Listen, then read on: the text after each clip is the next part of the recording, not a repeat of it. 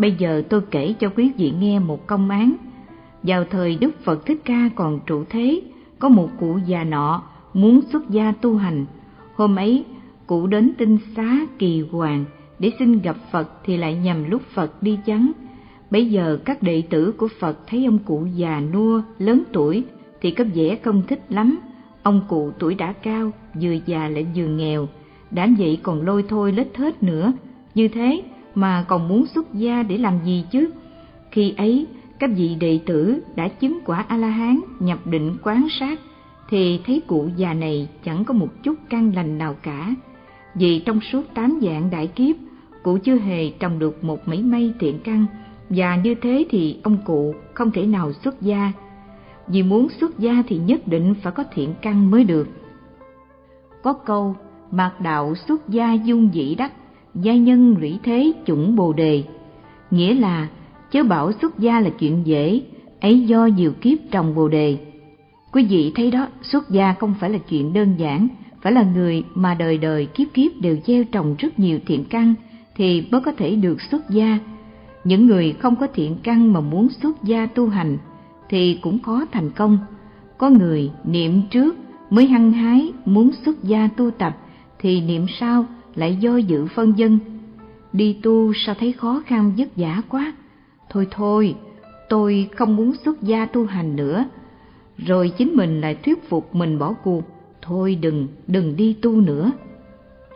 Lại nói về cụ già nọ, bởi các đệ tử A-la-hán của Phật đều thấy cụ không có thiện căn, cho nên không nhận cho cụ xuất gia.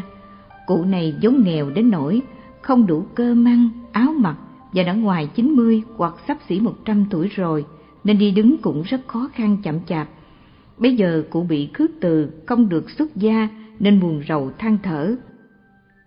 Tôi tuổi tác già nuôi như vậy rồi, nay chỉ muốn xuất gia để được an lạc thanh thản đôi chút, lúc tuổi già sức yếu. Nào ngờ đệ tử của Phật lại khăng khăng chẳng chịu thâu nhận. Rồi cụ bật khóc, vừa đi vừa khóc lóc, sụt sùi rất thảm thiết. Bất chợt, trong lòng cụ nảy ra một ý định.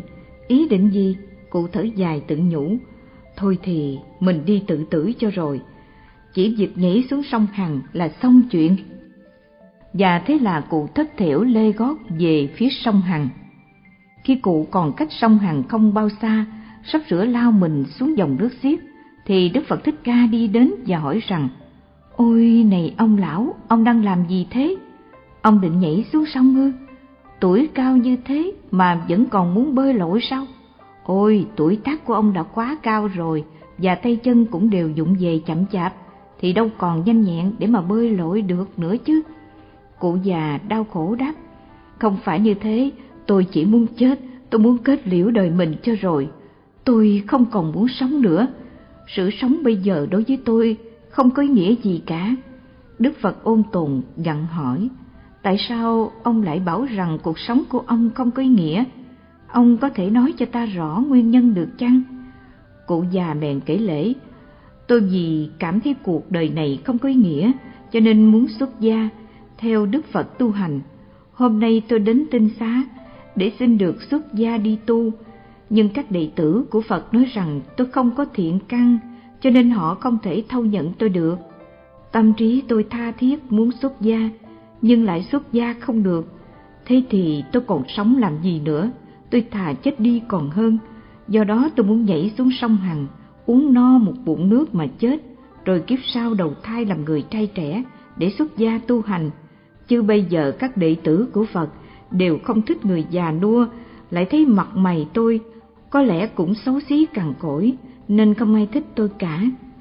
Nghe qua tự sự, Đức Phật dịu dàng bảo, Ồ, ông lão muốn xuất gia, thế thì ông khỏi cần nhảy xuống sông nữa, ta sẽ thâu nhận ông làm đệ tử. Vậy ông hãy theo ta trở về tinh xá. Cụ già lấy làm ngạc nhiên, dội hỏi, Thật ư, thế chẳng hay, Ngài là ai vậy? Đức Phật đáp, ta là Phật Thích Ca Mâu Ni đây. Cụ già mừng rỡ hỏi lại, ôi, Ngài là Đức Phật Thích Ca Mâu Ni à? Ngài bằng lòng thâu nhận tôi làm đệ tử sao? Đức Phật gật đầu, phải, ta thấy ông than khóc rất đáng thương, thôi thì ta nhận ông làm lão đệ tử vậy. Sau đó Đức Phật dẫn cụ già về tinh xá kỳ hoàng và thuyết pháp cho nghe. Vừa nghe Phật thuyết pháp, cụ lập tức chứng được quả vị A-la-hán. Lúc Phật còn trụ thế, có rất nhiều người chứng được A-la-hán quả. Bởi Đức Phật xem xét nhân duyên của họ mà thuyết pháp, cho nên Phật vừa giảng là họ liền tỉnh ngộ và chứng đắc quả vị. Bây giờ có một số đệ tử của Phật thầm nghĩ rằng, thật là kỳ lạ, ông cụ này đã già như vậy, lại không có thiện căn gì cả, thì làm thế nào lại chứng quả vị được?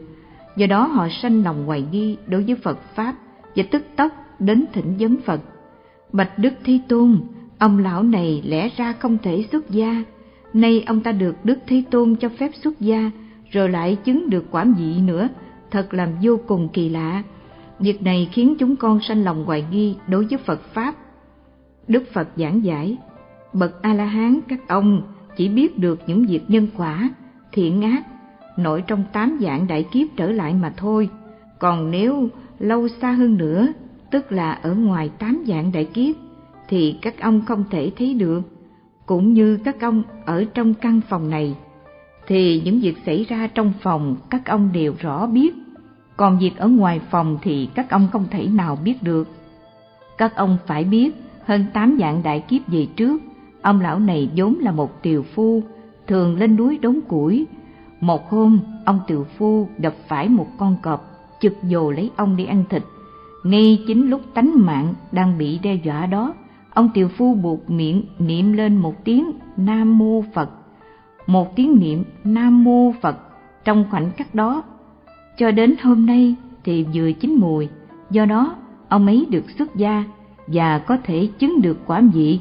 Vì thế, những người hiện tại được xuất gia thì không phải là việc ngẫu nhiên hay tình cờ, mà là nhờ trong quá khứ họ đã từng niệm rất nhiều tiếng Nam Mô Phật.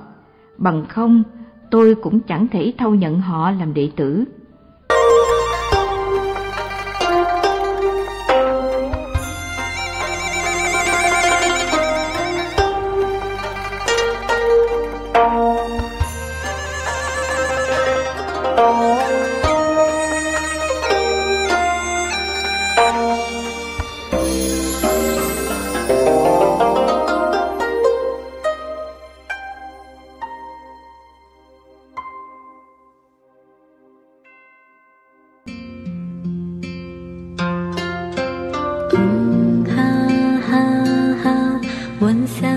地所